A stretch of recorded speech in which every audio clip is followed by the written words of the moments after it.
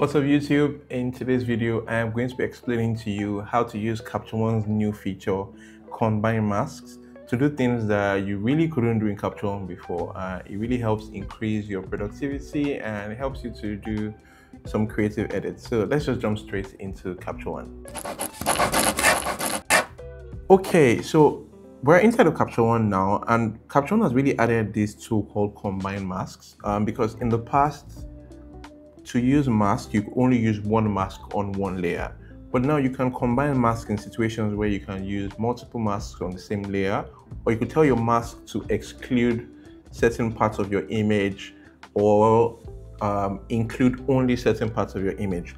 And that really increases your creative ability as a editor inside of Capture One. So I'll give you some examples.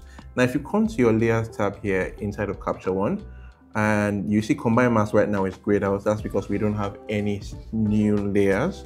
But if you create a brand new layer here you see that combine mask comes up.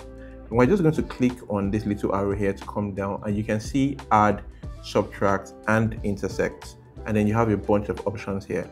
By the way if you're not seeing these options in your capture one you're probably not using the current version of capture one and you might need to update your capture one to get the combine masks feature. Okay so the first one I really want to explain is add. And that allows you to add multiple masks to a certain layer.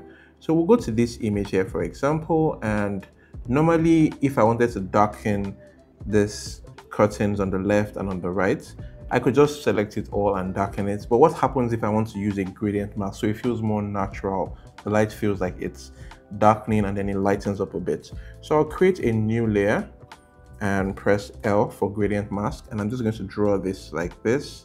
And we can press M to show the mask. Now we have one mask on this side already.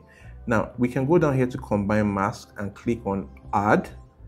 And then if we say add, we can add another linear gradient to this mask. So do that and we click on create mask. And then that allows us to be able to add a second linear gradient like this. So that way we have two linear gradients on this mask and we can adjust them independently of each other by selecting the one you want here.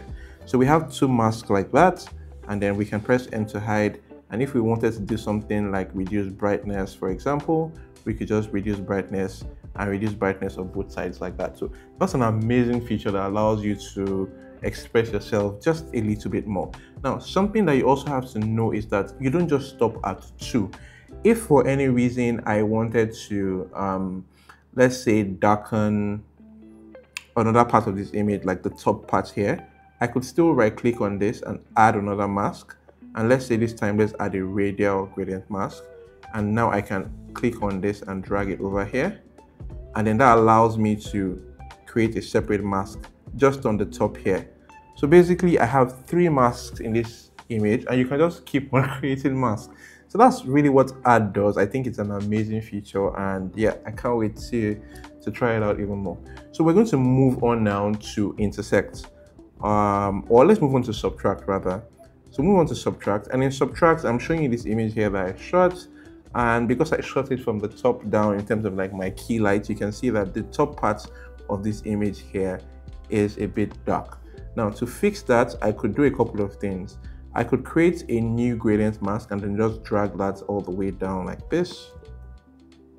And if I press M, you can see what my gradient mask is doing in terms of um, adding a mask to that area of the image. Now, if I increase the brightness here like this now, um, you would see that it starts to brighten up her hair as well. And I don't really want to do that. I want the mask to affect just the background. Now to make it affect just the background, I could right click on this and click on subtract or you could come to combine masks, click on subtract and ask it to subtract your subject. Okay, so you say sub subtract subject rather and create mask. And once you do that, you allow Capture One a second or two to do its thing. And once it has done that and we press M, you see that our mask completely omits the subject and just select whatever is behind the subject. Now we could also do things like if I pressed on L, we could then adjust this um, based off of how we want it to be. And that's really the power with this is that I can create this and tell it to completely not affect my subject and I could do anything I want with my mask, really. So once we do that, I can press M and just like that, we've been able to adjust the top of this image without affecting our subjects. Now, the third one that we're going to show and explain in today's video is intersect. So I'll explain intersect in just a second. Now, intersect basically tells you that I want my mask to only show up in the area where these two things intersect. So I'll explain um, briefly. So I create a brand new layer, right? And let's say I want to create another gradient and I, have been using gradients a lot because that's really where this tool shines. And if I want to brighten the left side of a face a little bit, maybe the left bottom side of my subject, I could just create this mask here. And if I press M, you will see what the mask is doing like that. And right now it's affecting both the background and the subject. Now we could right click on this and ask it to subtract the subject like we did before, or we could right click on it and add it to intersect and say intersect, intersect with subject. So what that does is that it is only going to show up in the areas where your subject is. So only where your mask intersects with your subject will it show up. And just like that, you see that we're able to create a gradient like this that affects just this part of the subject. And we can do things like increase brightness like this, or we could uh, increase, you know, whatever it is you want to do really this is not really about what is possible or what you want to do. It's about what is possible. So we can increase brightness like that or increase saturation and really do and undo what we want to do. I mean you can always go in and then adjust it but you can also always go in and right click and subtract from certain areas if you wanted to. But if you did that, then you wouldn't be able to adjust the mask going forward.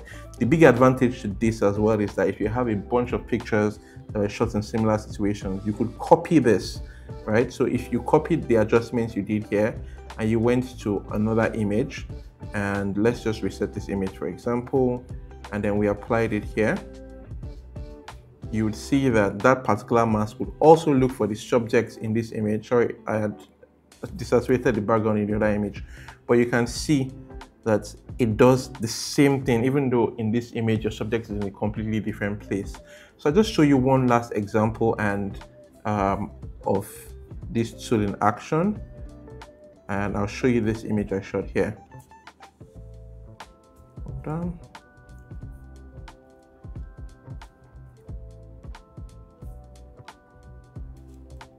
So I shot this image here and this image was pretty dark. Um, it was during my workshop and this was one of the first shots where I was explaining how to build up my lights. Now, um, I'm going to draw a gradient mask from left to right here and press L and then just draw this gradient mask from left to right. And I'm also going to right click and say intersect with subject. So you click intersect with subject and you see that I can do a gradient mask that only affects part of my subject and I can gradually increase my brightness or exposure in such a way that it feels a bit natural. You can then erase this from things like the hair because you can see some artifacts here and all. You can right click on this and say subtract from people and once you go to people you can then pick hair clothes whatever it is you want to do. So i'm just going to pick hair here and say create mask.